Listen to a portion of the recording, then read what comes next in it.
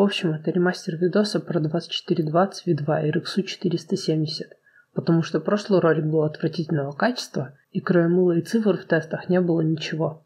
Заодно некоторые моменты я осмыслил. В общем, этот ролик будет интересен тем, кто посмотрел первый. Ну или просто поддержите просмотром. Вам же не трудно, а мне приятно. Надеюсь, не зря я на это положил свой выходной. Погнали.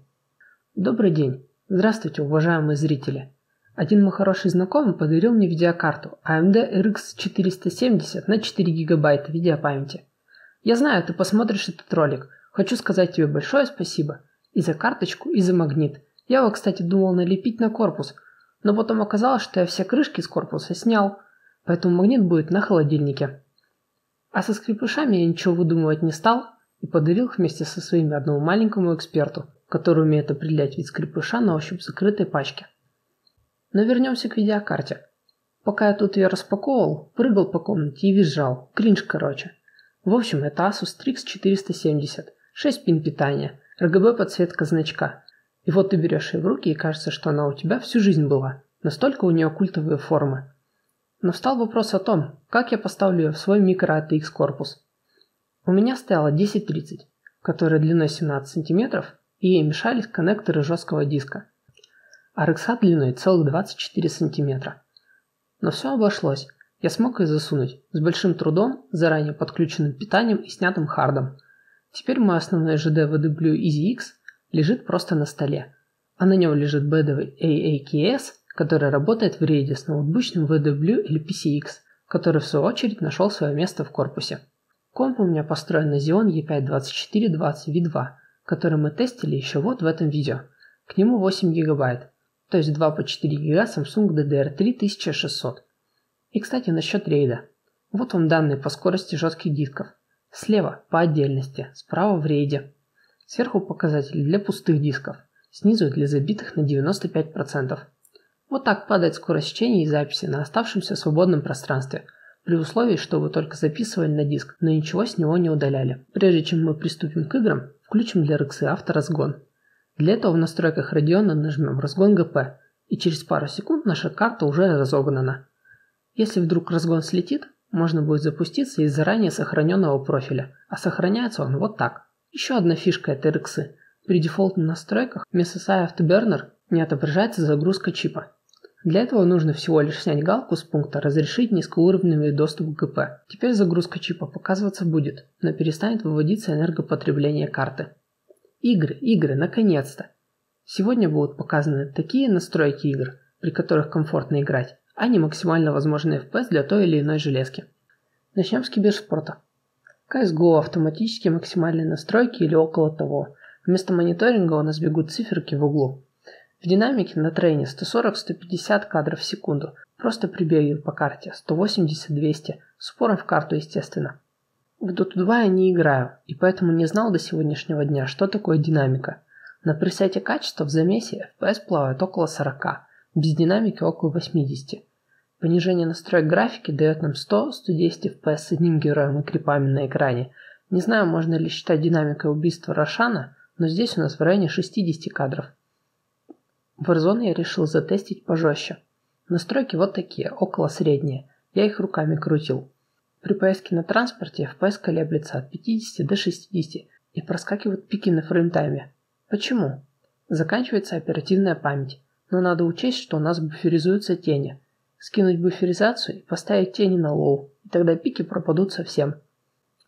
В Fortnite на средних настройках разрешение 3D на сотку у нас 70-80 кадров. Автоматически выбирались высокие и ультра настройки, но игра на них статерила и выдавала порой меньше 50 кадров, поэтому средний тут в самый раз. Дальше пойдем от игр, которые идут веселее всех, к спорным по производительности проектам. Первый Battlefield, и я додумался убрать вертикальную синхронизацию.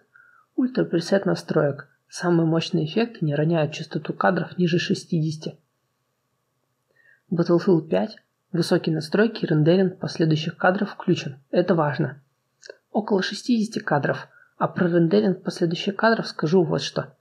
Без него здесь FPS будет примерно 35-40. Полезная кнопка в общем, но не в онлайне, потому что из-за нее растет input lag. Игра, увешанная всеми достижениями видеокарточного хозяйства. Control. Что-то в районе средних настроек. В Control мы получаем около 50 кадров. И судя по частоте карты, процессор не догружает. Загрузка проца довольно странная.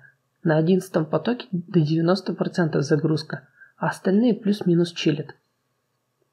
Mortal Kombat 11 подобрала вот такие настройки графики, практически максимальные. Процессор в этой игре отдыхает. Можно вполне переложить на него обработку частиц и облегчить жизнь видеокарте чисто ради прикола. Весь прикол в том, что игра умно пропускает кадры в анимациях для поддержания 60 кадров. Как вырубить эту настройку, я не додумался. Kingdom Come Deliverance. Все настройки средние, кроме качества объектов. Оно тут на ультра. Здесь у нас почти всегда есть 60 кадров. Отличные текстуры, несмотря на загрузку видеопамяти на 2 гигабайта и эту игру называли не оптимизированной? Наконец-то эта игра у меня пойдет. Assassin's Creed Unity. Шестилетняя игра на высоких дает жару моему компьютеру. Карта работает на 100%, загрузка процессора не бывает ниже половины, зато используется всего около 4 гигабайт ОЗУ. На крышах получаем 55-60 кадров, в толпе 45-50. Пересыщенная в свое время игра и сегодня дает прикурить бюджетным игровым сборкам. Need for Speed Hit – средние настройки графики. И при таких настройках мы получаем от 50 до 60 кадров. Игра иногда статерит из-за того, что пользуется жестким диском, в моем случае сразу двумя дисками. И честно говоря, игра выглядит как-то позорно для средних настроек, какая-то пиксельная резкость, как будто кто-то навалил фильтров в инстаграме. Я прошел эту игру на 10.30 на самых низких Full HD с масштабом разрешения 9 десятых, и мне было норм. Но если бы я сначала увидел игру такой, какой вы видите ее на экране, то не стал бы даже начинать играть. Рексоводы, подскажите, может быть что-то надо подкрутить, чтобы было нормально? Наверняка должен быть выход. На самом деле машина выглядит нормально. Катсцены тоже. А окружение в игре просто жесть. Вот, кстати, пара фоток с текстурами из Майнкрафта. И какие-то непонятные листочки из земли, которых с переходом на ультра становится больше. Far Cry 5 на средних настройках графики. 50-55 кадров в среднем. И поймали небольшой фриз на 33 кадрах, который я объяснить не могу. В момент фриза произошло падение нагрузки на процессор. Предполагаю, что всему виной частота памяти на 1600 МГц. Это уже маловато. Как и в свое время компьютеры с DDR2800 не показывали 60 FPS даже в простых для них играх. Но в среднем выходит нормально. Assassin's Creed Odyssey в этот раз фризило постоянно. Я совершенно точно знаю, что это из-за низкой скорости оперативной памяти. Но не справляется двухканал 1600 с этой игрой. Если еще есть некоторые фоновые процессы, которые поджирают АЗУ, все, Кавказ на фринтайме. Watch Dogs 2 на высоких в городе дается нашему ПК тяжело. FPS держится в районе 30-35. Понятно, что с упором в карту, но если выставить все на низко, будет не больше 45 кадров. Повторюсь, это в городе. За городом при любых настройках графики на этом ПК больше 60 кадров в секунду. GTA 5 – дефолтные около максимальной настройки, без лока кадров. По этому отрезку делайте выводы сами, а я скажу общий вывод. RX 470 – отличная видеокарта, которая позволяет играть во все игры на средних и на высоких настройках Full HD. У нее малое энергопотребление, она требует только 6 пин дополнительного питания и небольшой нагрев – в открытом микро ATX корпусе максимальная температура я видел 72 градуса. В общем, это прям топовая карта для бюджетных, небольших и энергоэффективных систем, аналогов которой по цене и мощности больше нет. 570 RX требует 8 пин питания, 1650 хоть и ест меньше, зато цены кусаются. 1060 имеет слишком большую популярность, чтобы быть выгодной. К тому же 3 гигов видеопамяти даже для GTA 5 на ультрах недостаточно – не говоря уже про Warzone и Watch Dogs 2. Процессор мы уже тестировали. И что с 1030, что с 470 он показывает одинаковые результаты. И свои 800 рублей он отрабатывает на 200%. А я вообще взял его за 537 рублей. Но фишка тут именно в оперативной памяти. 8 гигабайт все еще достаточно, если вы не юзер, не держите открытыми 20 вкладов в браузере Amiga, сбрасываете лишние игровые сервисы и сидите на десятке LTSC но двухканал DDR3 себя изживает в принципе. Именно из-за памяти происходит кратковременное падение FPS, иногда даже ниже 30, но только в играх типа Assassin's Creed Odyssey. Вы видели наверняка, как у меня идет Doom Eternal, то есть как сплошной фриз, но в остальных играх таких падений нет. Так что мой вам совет. Если прям каждую сотку считаете, 2420 V2, 1356 и 2 по 4 ГБ DDR3 1600 ECC. Подходит отлично для 30 FPS гейминга, а часто и для 60 FPS. Если же хотите всегда 60 FPS, смотрите в сторону 4 канала 2011, например 2640 или 2650, либо 2011.3, тот же 2620 V3 и 4 по 4 ГБ любой DDR4, который можно купить у розиноводов, у которых с этой памятью фризит.